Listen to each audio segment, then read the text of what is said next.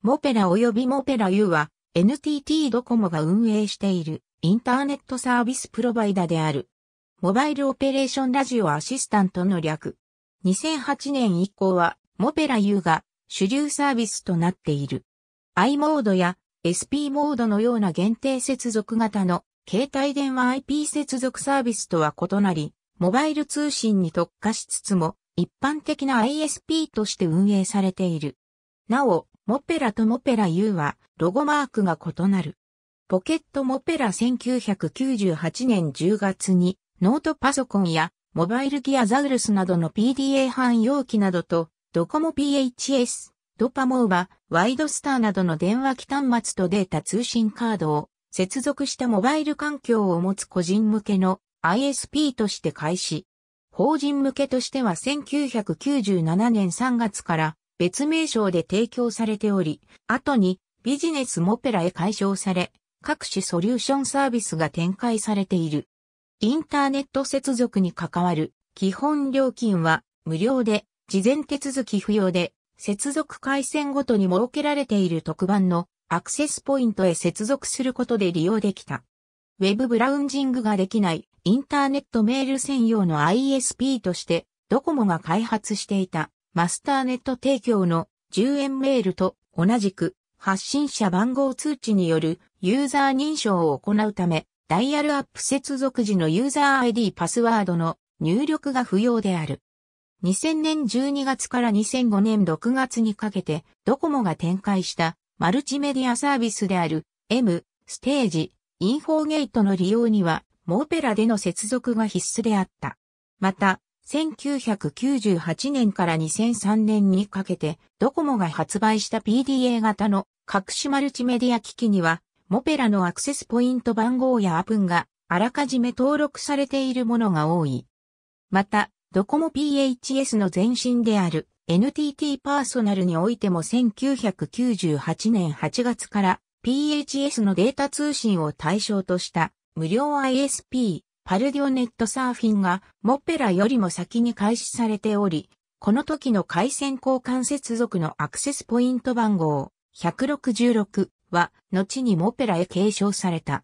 POP3 のほか IMAP4 や Web メールにも対応した xxxxmopera.ne.jp のインターネットメールアカウント、モペラメールも提供されているが、これはオプションとして525円課金される。なお、モッペラ U メールとは内容が異なる。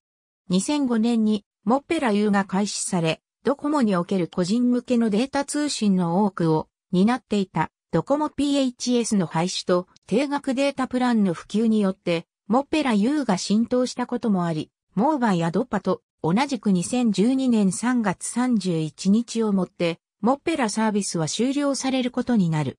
フォーマ M1000 の発売に先立ち、2005年6月よりサービス開始。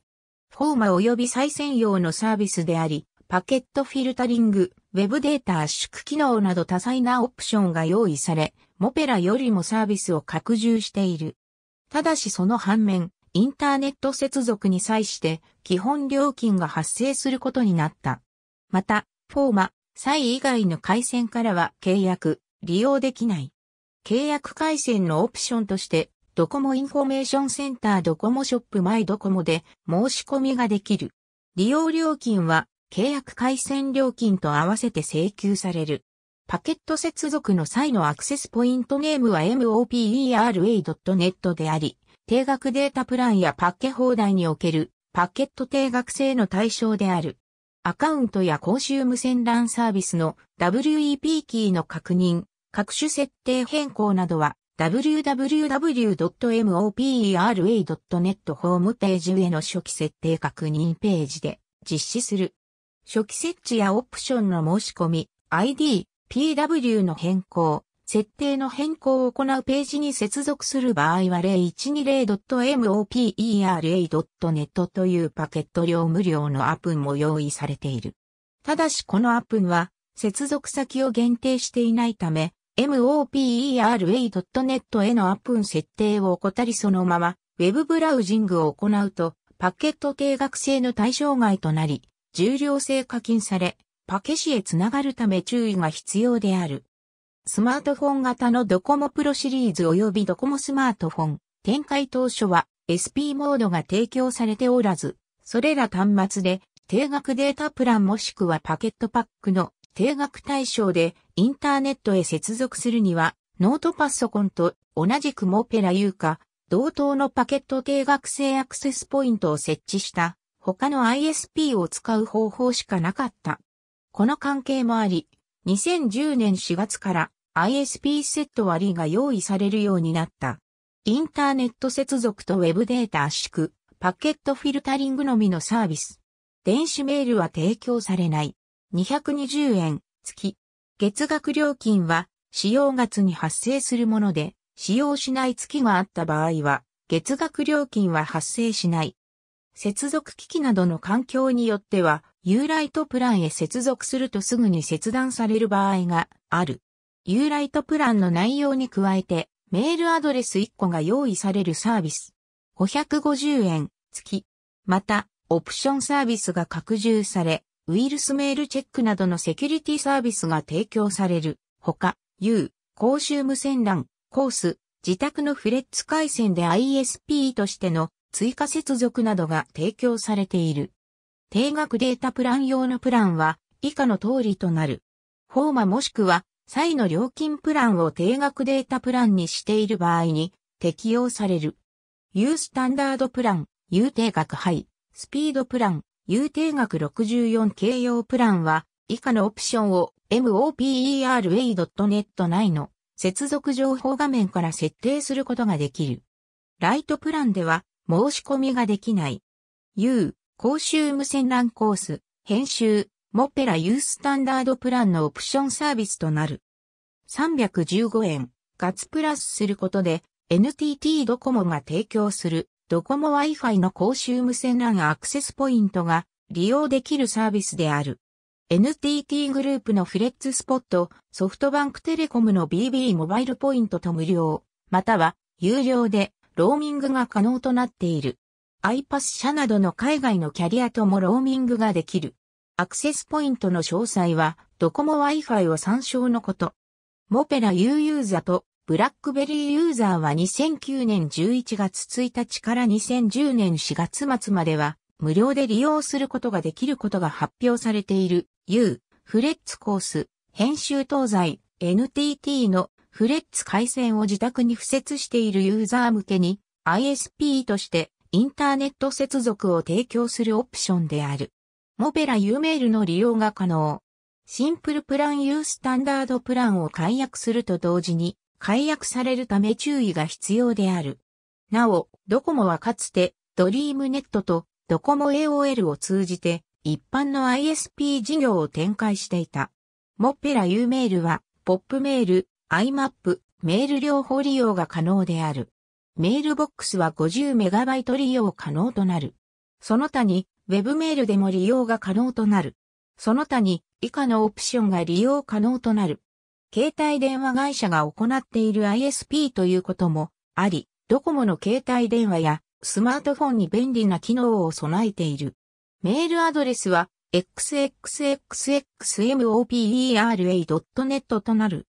モペラ側から提供されるメールアドレスと利用者が自由に決められるエイリアスメールアドレスを利用することができる。メールは POP、IMAP の他に Web メールでも利用ができる。ウェブメールは NTT ドコモの携帯電話からでも利用が可能である。